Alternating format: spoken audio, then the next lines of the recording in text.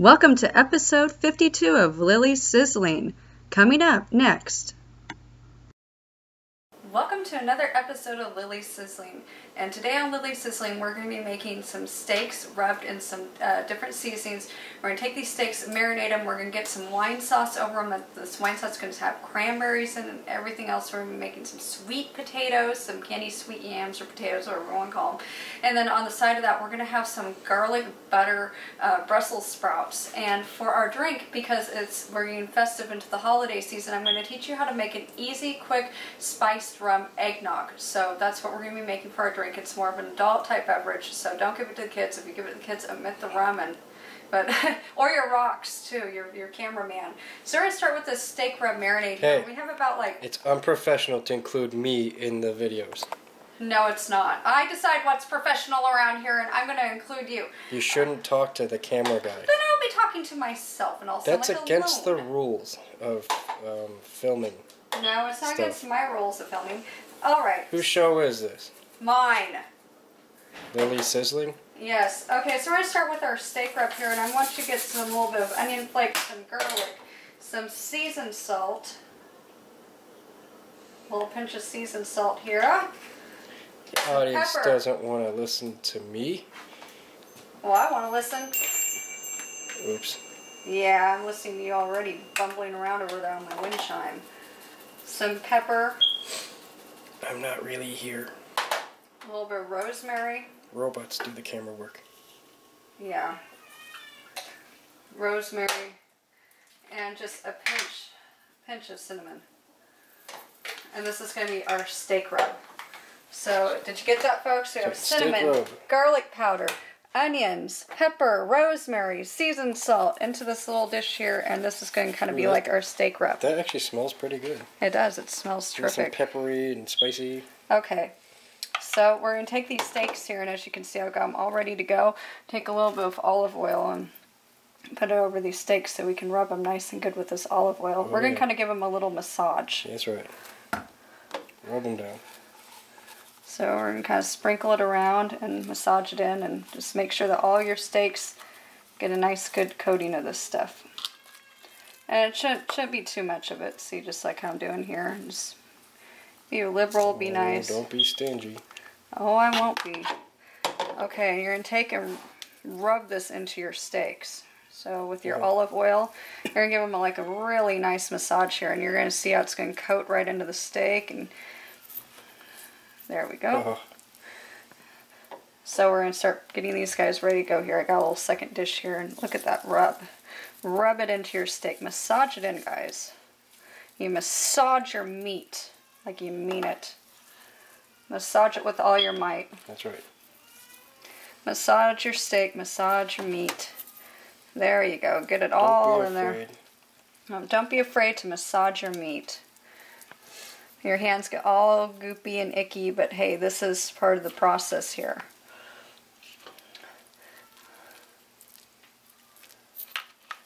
Let's get some more off this guy there. Ah. Oh. That's right. Spread it Yes, I will spread the love. Some off this side here. This guy's, oh, look at that nice seasoning on this guy. Okay, so we have a nice marinade here going with the, these steaks. They're all nicely seasoned and massaged in with this olive oil and all these seasonings, the cinnamon, the pepper, the garlic, the onions, the seasoned salt, the rosemary. So we're going to take and we're going to cover these guys up with a little bit of cellophane or foil or whatever you want to cover them with here a lid even if you have a lid for your Tupperware. So we're to cover these guys up and we're to put them into the refrigerator for a total of about maybe an hour or so. We're to get these sweet potatoes up. We're to start working on our sweet potatoes. We're to get them uh, nice and softened so we can peel their skin off. And then we're to start working on to our, onto our other things. Okay y'all, this is like a yam or sweet potato here and what we're to do is is we're to take the yam and sweet potatoes, whatever you want to call them, and we're going to put them into a pot of water here. And we're basically have this pot of water come up to a boil. So if you can see how I'm doing this. And we're just going to cover this up in a few minutes here and let this come to a boil. These guys need to get steamed and softened up before we can make the candied sweet potatoes out of them. So that's basically what we're going to be doing is just sitting lid on them and forgetting them. So we're going to take a bunch of these candied yams here and we're going to mush them together into a bowl. And we're first right now is what we're doing is we're taking the skin off of them. And so the skin just, once you do it right and they're nice and boiled, the skin just peels off. You have to let them cool for about 15-20 minutes. They are hot still. This is just after 15 minutes of cooling. So you just kind of peel the jacket right off the potato. So my mom calls it the jacket, so whatever. To that, she calls it weird name. You get the tips off of them here. And you just get them all ready to go into a little bowl. Yep, skin and all. All the skin just comes right off. It becomes kind of a messy endeavor. And then we're going to take here and we're going to smush them down in a few minutes and get them all ready to go. So, we're going to continue just peeling the skins off of these things. it's not really rocket science or nothing. It's quite self-explanatory. Just peel the skin. Kind of mold them off with your hands as best as you can. It's nice and cold in here, so the steam's just showing up real good. yeah, they're still kind of warm. Yep, just get the skins right off of them. This is another thing that you can puree and mash up and create into baby food. So babies love this stuff again. So Is that true, Layla? Yep. I'm just going to take the fork and the skin's just really easy to come right off. I just toss in my sink and we'll get rid of it later. it's still warm, honey. I'll give you some in a few minutes here. So, skin off and you just put it into another bowl and get it ready here to transfer and mash up. So, that's what we're going to be doing. Look at that. We're going to get all these guys mashed up into, into our bowls here that we're going to bake them with. We're going to put sugar and cinnamon and butter with them and everything. Oh, it's going to be scrumptious. Alright, so just pe keep peeling your skins off. Ew, potato skin. And we're going to get these guys ready to go. Sweet potatoes. Lila loves these. These are really good. Babies love sweet potatoes. Mm. Yeah, that's good, huh? Yeah. So see, you can take the sweet potatoes, and if you just kind of mash up a little bit, puree it, get a little baby spoon. Oh, they love them. Ooh, is that good? See, folks, what you can do? You can get some of these little tiny containers, like any like little Tupperware type store that sells like Tupperware whatever. You just get some of these containers. You can make up different things. Like you've seen me do the pumpkin now. Now you're seeing me do sweet potatoes. Both of these are really good first foods for your baby. And of course your baby's going to love them if you want to try to get like a shot of Lila. Oh! It's really good stuff. Make sure it's not, not too hot. A little bit of a little bit of cinnamon on there with the sweet potatoes. Just to make a little nice, uh, nice second stage food here that we're making tonight. So once again, throw in a bonus recipe of making homemade baby food, sweet potatoes. Babies love them. And you can take these little food containers here and you can store and put them in your refrigerator for about 24 hours after you feed your baby with them. Uh, and they'll, they'll last good. So just take some of your table food and make some sweet potatoes with it and feed your babies. All right, so let's get back to the recipe here for our candy sweet potatoes for the big kids. Alrighty, so into our bowl here, we're gonna put some butter and we're gonna get some cinnamon up in here.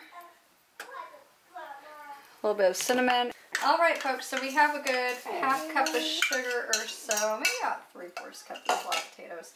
Okay, so we're going to blend this on in here and mush them on up. I use a blender because I don't have a whisk, and, well, whatever, it just works quicker. So I blend the sweet potatoes. I have some butter in here, some cinnamon, and now some brown sugar, about three-fourths of a cup's worth. Oh, yeah. Oh, delicious smelling. There we go. Lila is fully reaping the benefits of having a mommy who likes to cook. Oh, that, that will be good to just eat right off of there. Um, I love sweet potatoes. One of my favorite things is like the candied yam sweet potato stuff. I like it without the sugar, with the sugar. Heck, it doesn't matter. Okay, we're going to sprinkle a little bit more cinnamon into Don't here. Oh, I'm not going to be. And we're going to swirl this around. We're going to bake it into a bowl here and start up on our steaks after we get them with this. So let's get this right here. And let's put this onto this bowl. If you can get some stoneware bowls, some bowls that bake into the oven, some old dishes here. And you just heat them right on up. We're going to heat this at about 375. Let it bake for about 20 minutes or so while we, maybe 20 to 30 minutes almost, while we work here on our steak. Our steaks have been marinating now for about a good two hours. We've let this marinate on the steak. Those steaks are going to be delicious with our wine sauce. We're going to make our wine sauce and fry these steaks on up and get those Brussels sprouts rolling. Oh yeah, this is going to be awesome. Look at that. Okay, smooth it down on out here a little bit and let's get some uh, let's get some marshmallows here, top them up on these guys. Just get some little mini marshmallows, get them at the supermarket in little bags. Yeah, they work good. I don't do the big ones because they don't spread and distribute as good as you might want to think. So the mini marshmallows work the best for them. And just, there's no right or wrong measurement. I just take some handfuls here and I just top them right on top. One year I made too many marshmallows, so I'll try not to do that. I, will try not to be stingy, but I'll try not to overdo it as well. As I, I will just, I'll seriously, I'll, I'll, I'll mellow the oven up with, with marshmallows. So this is my favorite part of doing this, is just getting this marshmallow bake all over the top of this. Oh, there we have it. That's a good marshmallow bake right there. You know what I do, folks, here is with the, these marshmallows is I give them a good extra whirl of cinnamon right over the top of them. So that cinnamon just bakes right in with that sugar, that marshmallow, and creates a just more scrumptious. This brings out the flavor and stuff of fall. So this is a beautiful dish. Once again, this can be done on Thanksgiving, it can be done on Christmas, it can be done on Halloween, whenever time in the fall period, September through like January, or heck, anytime you want to, and you find these guys in season. They're pretty easy to find. So let's get these guys here up on up into the oven here, 375, and let's start working on our steak sauce, our steak, and our Brussels sprouts, and get this episode plated on up so Lila can eat the rest of these sweet potatoes. All right, folks, our steaks are done here, and we got a nice steak rub going on these guys. So we've got some a little bit more olive oil in here. Yep. She's wanting more sweet potatoes. oh my goodness. So look at these steaks and they're all wrapped up. And we're getting these steaks ready to fry up here. We're going to sizzle these steaks here. We got our Brussels sprouts and our Brussels sprouts are all getting ready to cook. So we have everything underway for sizzle, sizzle, sizzle time. Yes, we do, Lila. Sizzle time. And look at those Brussels sprouts. Oh, they're so pretty and green.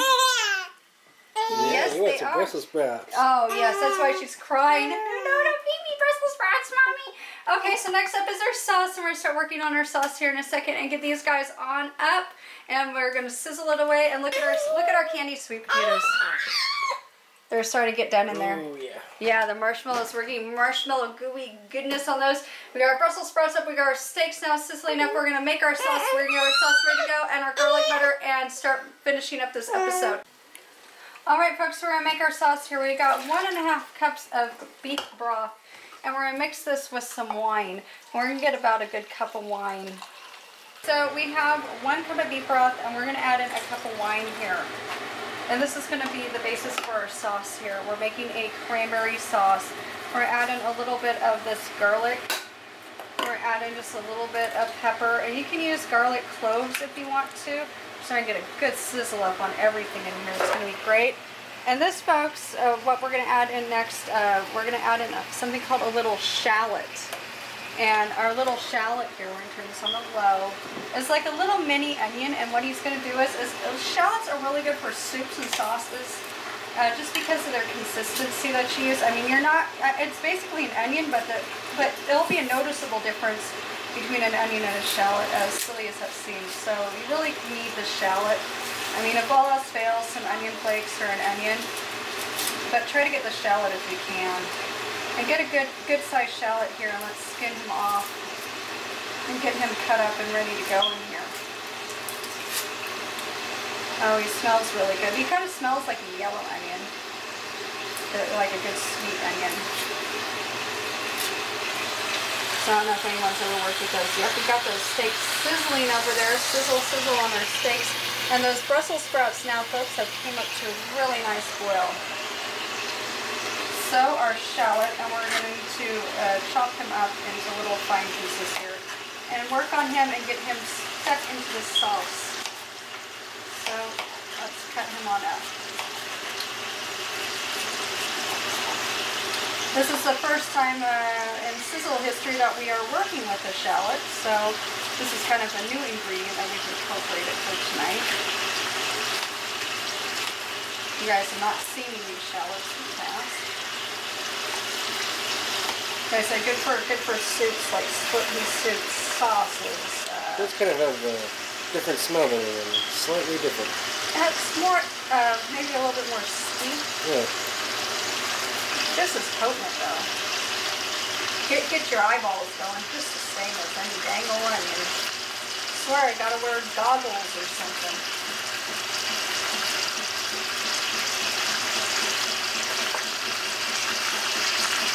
Oh yeah. Oh, we're sizzling hard now. We're going to start checking on these steaks here. We're going to get our garlic butter ready. And I'm going to start getting that drink all ready for y'all. That spiced rum eggnog. Whew, my eyeballs. Here's one spicy little shallot. You get the idea.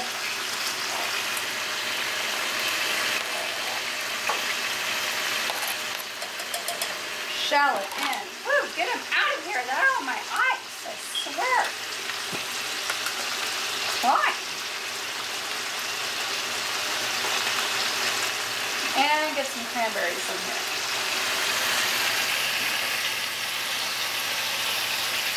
All right, so we're gonna have this on to about a medium here. We're gonna bring it up to a boil. The thing is, is that it's gonna be kind of like a reduction. The, the sauce is gonna reduce in size here once once we start doing this. So we have like two cups of sauce now. It's going to yield maybe a good cup or so when we get done because it's going to boil out a little bit when it's cooking. We're going to get this stuff right over the tops of our steaks and drizzle it on there. So we've got our steak sizzling, we've got our shallots and our and our sauce going, we've got Brussels sprouts. We're going to start flipping our steaks and get ready to make these drinks coming up next. I know I'm still crying. He's laughing at me over there. So I'm like, ah, still teary-eyed from that dang shallot. That thing was hot, hot. Okay. Hey, watch your mouth. So, yeah, I swear that would teach you from swearing. Okay, so we have some butter in here, and we're going to basically make some garlic butter. So sprinkle a little bit of garlic over the butter, and a little bit of pepper, and we're going to melt this in the microwave for about a minute or so. Uh, right at the end here when we get done with our Brussels sprouts. So as you can see, our steaks here are sizzling on up we got shallots, we got everything going here, and now we're going to start working on our. Garlic butter's in here about a good minute or two. Uh, we would have the garlic uh, butter ready to go over these guys once we get ready to plate this on up, which we're getting really close here. These steaks are about done. Maybe about 8, 10 minutes aside, uh, depending on how you want to go here. Uh, as you can see, I've already flipped them once. Uh, we're almost doing this in real time here. I was making the sauce, so they're not, they've not been on for very long, but they do cook kind of swiftly. So when you don't want to overcook your steaks, you want them a good, uh, I'd say a good medium, medium rare here uh, is how I like my steak, a little bit bloody still in the middle. So steaks are getting close here to being done.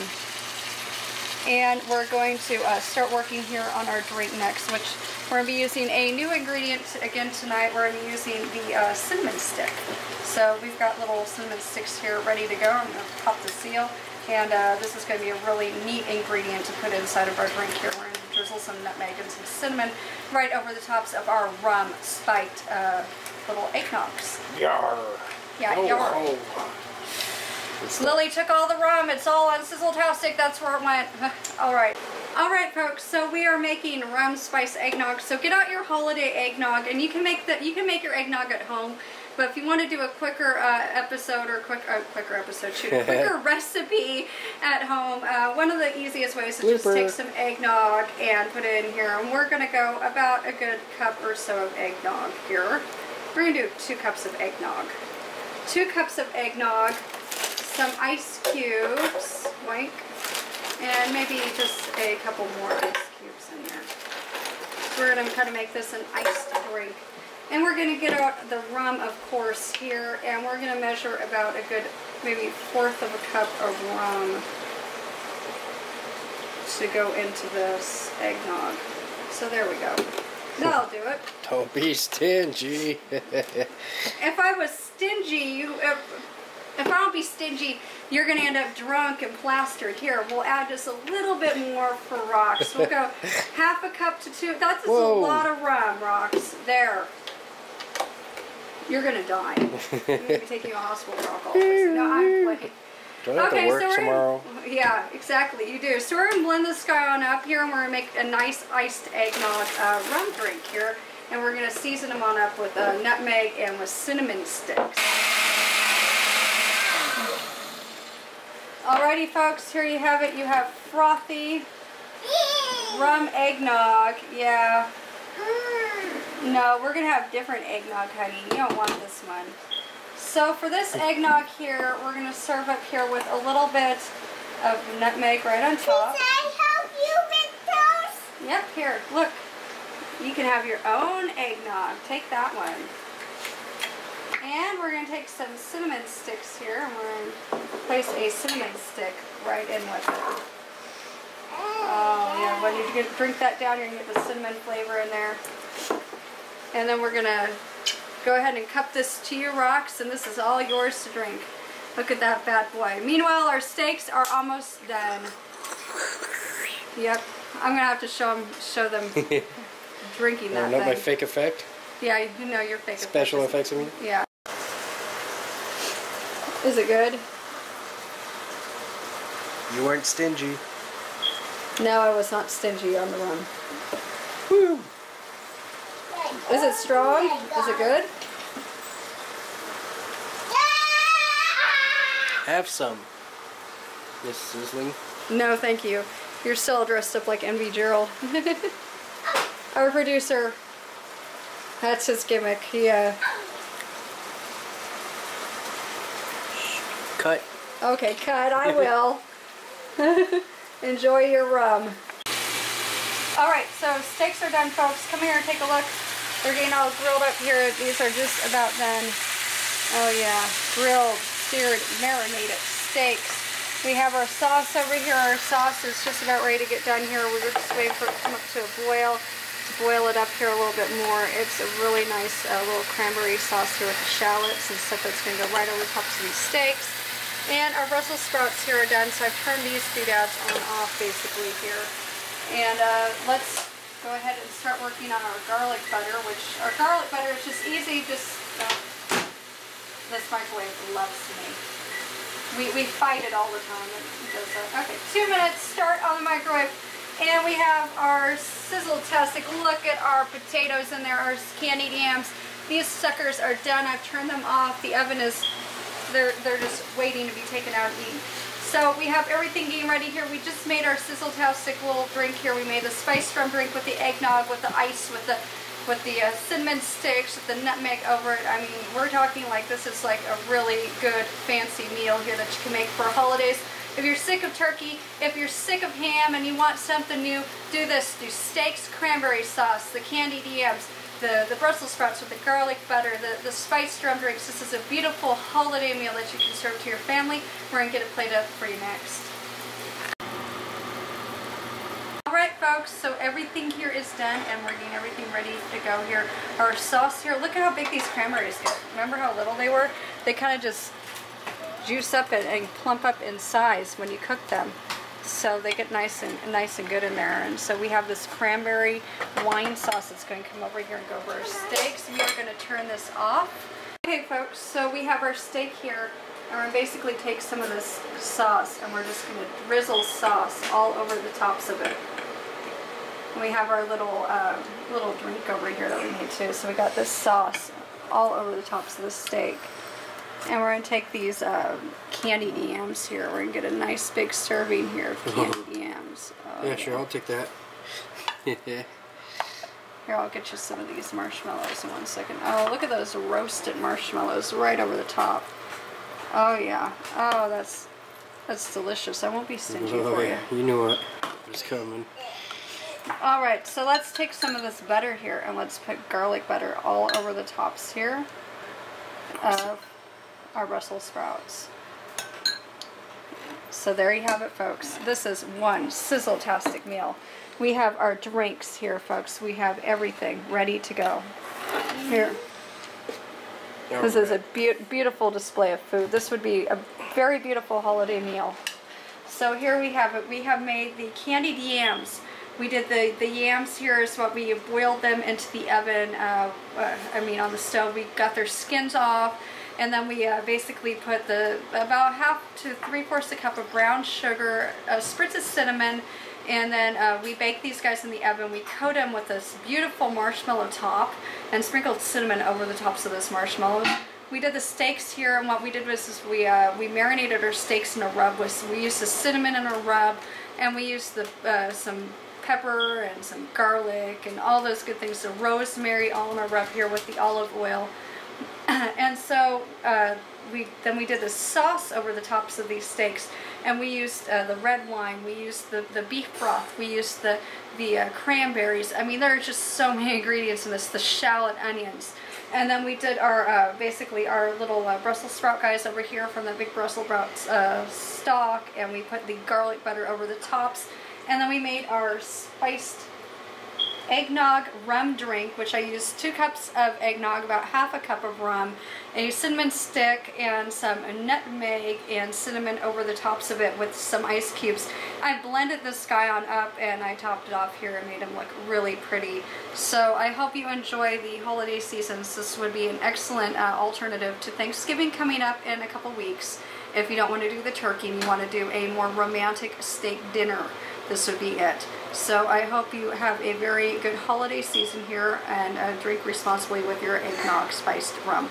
So uh, watch us on sizzletastic.com, youtube.com backslash Lily's Sizzling, youtube.com backslash The Roxhart, and yes, Facebook. You can come like us on our Facebook. And uh, I hope you have a very, very good sizzletastic meal. So, bon appetit!